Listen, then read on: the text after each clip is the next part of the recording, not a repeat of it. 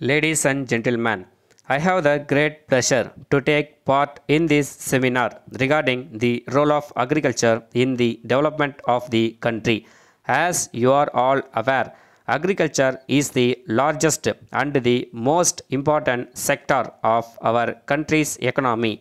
It is to be remembered that about 70% of our population depend upon agriculture and a majority of them live in our villages. While the people in the villages are directly engaged in farming, those outside are engaged in the trading of agricultural products are employed in agro industries.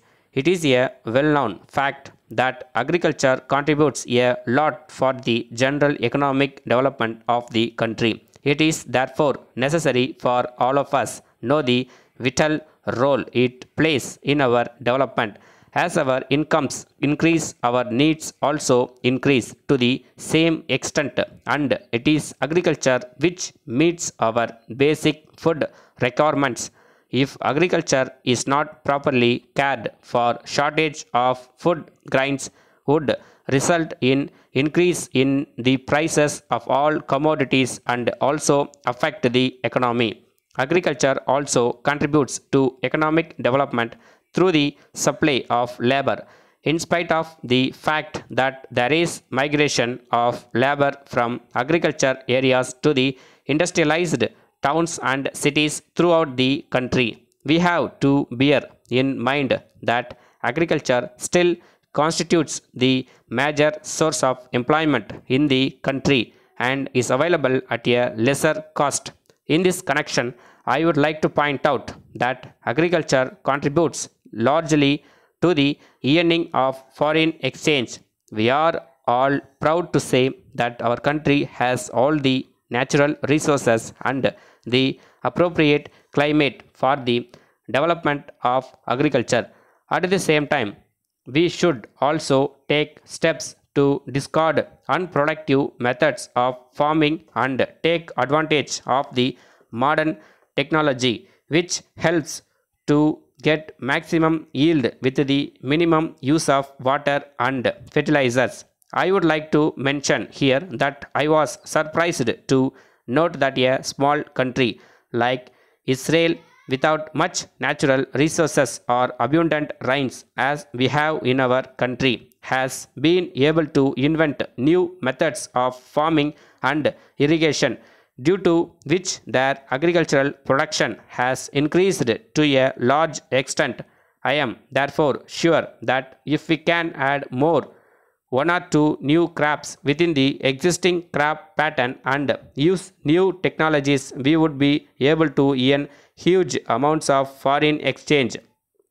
As far as I am concerned, from my experience in the past 50 years, I have seen that large incomes of the rural people have always helped in the stimulation of industrial growth, especially in the consumer goods industry. As a matter of fact, this has happened in many parts of the world, and I am sure that this will improve the standard of living of our farmers. I am happy to inform you that the opening of a large number of farmers markets by the government throughout the state has helped in the development of agriculture sector to a very great extent. The farmers are now able to get remunerative price for their produce and the government is giving all assistance including free transport for the welfare of these people. I would not like to take much of your time and I would only request you to send as early as possible a report on your deliberations to the government along with your recommendations. On behalf of the government, I can assure you that they will receive the sympathetic consideration of the government. I thank you for the opportunity and I wish you all a grand success. Letter from Messrs. Boss and Company Limited, Calcutta, to the Chairman State Trading Corporation, New Delhi. Dear sirs, we are one of the leading packaging and printing industries in India, functioning with Calcutta as headquarters. We have branches in 10 locations spread all over the country.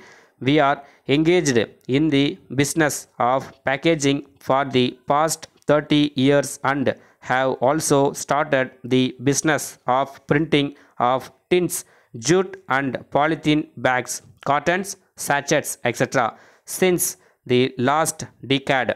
As you are a very large organization dealing with huge quantities of essential commodities, we are eager to do packaging and printing works for you.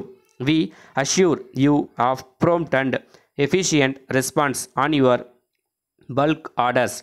We are also very happy to inform you that we could quote the most reasonable rate in the market if you provide the opportunity we have computerized all our branches and you can place orders with any of our branches situated throughout the country but we would also like to add that the tax rates will differ from state to state in this connection we would be very glad to depute our marketing manager to meet you on a convenient date at New Delhi. He would be able to give more information about us and answer all our queries.